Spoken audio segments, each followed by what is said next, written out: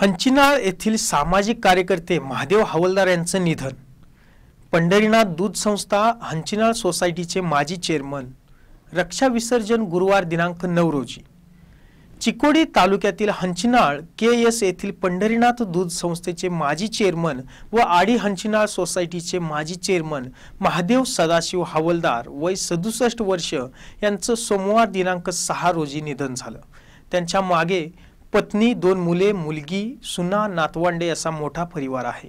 रक्षा विसर्जन गुरुवार दिनांक नऊ रोजी सकाळी नऊ वाजता हंचिनाळ येथे आहे.